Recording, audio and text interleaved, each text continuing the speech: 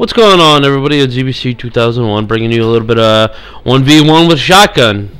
And uh, I'm not even really going to talk about that. I've been kind of surfing on the internet, and I found some really nifty stories. So, this dude, this kid, he's probably in his teens, just um, Wednesday, the Berlin police released pictures of this kid because they're trying to figure out who the hell he is. But sometime last year, he just wandered into Berlin. He said he had been living in the the woods with his father for the last five years, and he spoke English, but he had no like particular dialect or or accent or anything like that. But his English was to the point where they knew that English wasn't his first language. Now he picked up German as he stayed in Berlin longer, and you know he's doing fine. He's being taken care of and going to school and stuff like that. But they can't find his father, and they can't find any records of his mother dying in a car accident. They don't know what it, know he know who he is. They just know his last name. His first name is Ray, but they don't know what his la- he doesn't know what his last name is. So it's kind of interesting. His mother, Doreen, that's what it says in the article, died a couple years ago. Actually, when he was 12, and his father just kind of took to the woods with him and took care of him for five years. And his father died in August, and he walked five days north before ending up in Berlin. So, I mean, that's really just crazy. I mean, I hope they figure out who this kid is and try to give him a stable life or something. I hope it's not like a scam or anything. But we shall see. I'll put the link to it so you can read more about it in the description. Uh, another thing is, I found this and this is hilarious. I'm going to put the link in the description also. But a hundred years ago, when they were doing the big uh, race to the, I think it's the South Pole. Yeah, South Pole um, one of the groups that didn't make it, um, like main part of the group died, the rest of them didn't. He sat down and he observed penguins. You know those the, the bipedal penguins that we all know and love. They look like they're in tuxedos. Well, anyways, he was observing them for like a whole year while he was down there, and his work just finally hit public area because back when he wrote this information he, you know, what he was writing about was considered very taboo. But he wrote Sexual Habits of the Adelia Penguins. And basically, he noticed and saw that during mating season, some male penguins would have sex with dead female penguins. Some of them who had been frozen for over a year, they would, you know, pin down other penguinists and rape them and have you know, homosexuality, you know, homosexual activities with other male penguins. And, you know, I guess everybody's problem is they think about those penguins as uh, kind of like little people, but they're not. They're birds. So, I mean, really, this isn't really a, a like step out from, from birds. I mean, birds are screwed up creatures and they do all sorts of really messed up stuff. So, but it's really cool. Like I said, I'll put it in the um, the description so you can you know, check it out. But it was, that's like I was reading them, I was like, oh my god, that's hilarious. And let's see, I found some really neat pictures of JFK. I'm gonna put the link to that so you guys can take a look at them. They're like old campaign photos when he was becoming uh, trying campaigning for presidency. And I think one of my favorites that I've seen is there is a picture of the the um, the the press sitting on the back of this car, and they're taking a picture of whoever's you know they're they're taking a picture of JFK and the cars behind them.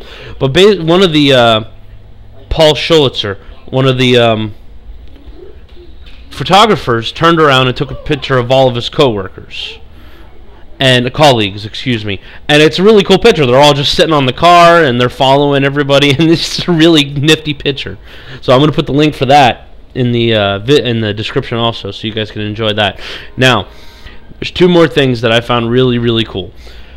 Uh, there was a Super Bowl commercial for Volkswagen where the little kid and you know he's dressed up like Darth Vader and he's trying to use the Force to do things, and his dad hits the engine on the car from the uh, kitchen when he's standing in front of the car. It's it's adorable, but he's um He's in hospitalized. He's going to be hospitalized for the next couple days for heart surgery. He has a congenitive heart defect, and he's going to be going under more and more surgeries. And it was really cute. I mean, he says, uh, Bromberg says that Max told his mother that he didn't have a choice and that he might as well go through it with a good attitude, and that's cute. You know, I mean, this this kid is young and seven year old. He's seven seven years old, and he's a young and the restless actor, and he's congenital heart failure. That's some that's some crazy shit.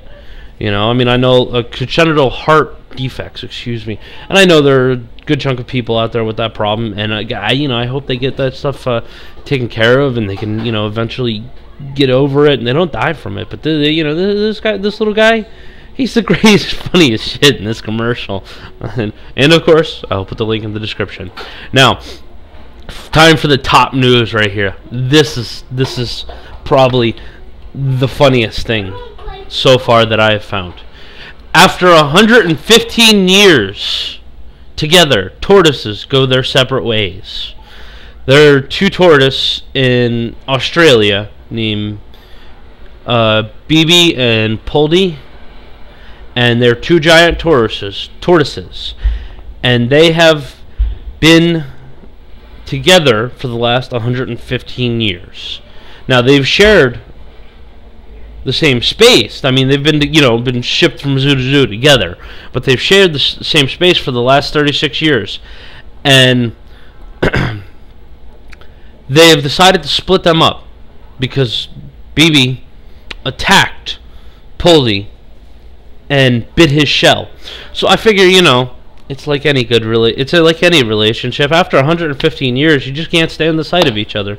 I can't blame each other. They had a good run. You know they they you know they, they they gave it out. They they they gave it over the hill and everything. It's it's you know it, it's about time they moved on. Maybe they could see other tortoises and everything.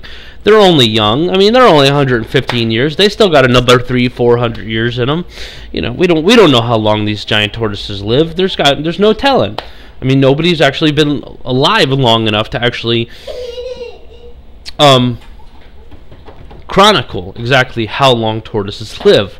So, I mean, they, where these guys are 115 years old, there might be a tortoise in the ocean somewhere that's rocking five, six hundred years. We don't know yet because it's only been in the last 20, 30 years that we've been ever really to explore and stuff like that. So, with that being said, I hope, you know, one day these guys get back together because they seem like such a cute couple.